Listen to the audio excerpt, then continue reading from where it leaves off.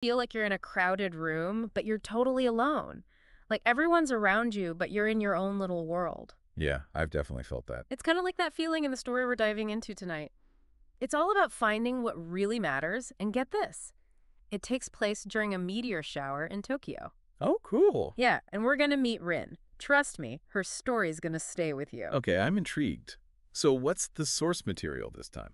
Well, it's interesting, actually. We're actually only looking at one super short story, like just a paragraph long, but it's packed with so much meaning. It's amazing what writers can do with just a few sentences. Wow, okay. Less is mm-hmm. more, right? So we find Rin in her apartment. It's high up, overlooking Tokyo.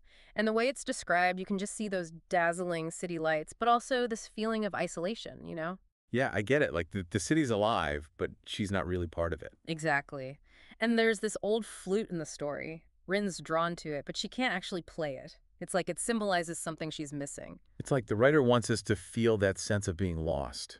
We're not just told about it, we experience it right alongside Rin through the setting, those sensory details. You hit the nail on the head. The writer doesn't just tell us, they show us. And that really makes you feel for her, you know? Absolutely. So what do you think the flute represents? It's interesting. For me, it speaks to that universal feeling of longing, you know? It could be a lost dream, a passion put on hold, even a desire for connection. What do you think? Totally. It's like that thing we all yearn for, but it's just out of reach. It's different for everyone. Like, what's your flute? What's that one thing you keep thinking about? Hmm. That's a good question. And you know what else struck me? This meteor shower. Oh, yeah. That's where things get really interesting. It's like a wake-up call for Rin, wouldn't you say? Totally. Like, natural events like that have a way of putting things in perspective. Suddenly, everyday worries seem smaller. You know, it makes you think about the bigger picture. Definitely. And for Rin, it seems like the meteor shower pushes her to make a change. Out of the blue, she grabs her phone. It's such a human moment. You can almost feel her reaching out. Exactly. And the story never tells us who she calls. It's like one of those open endings that leaves you wondering. I love that.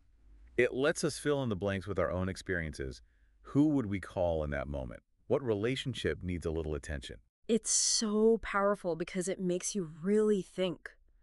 So the story ends with Rin taking that step, making that call. We don't know what happens next, but there's a sense of hope. Right. Definitely.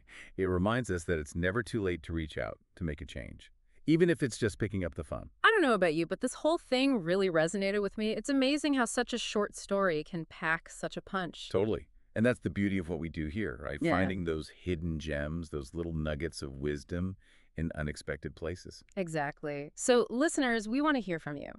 Have you ever had a meteor shower moment, something that made you pause, reevaluate, maybe reach out to someone? To know those stories. We'd love to hear them.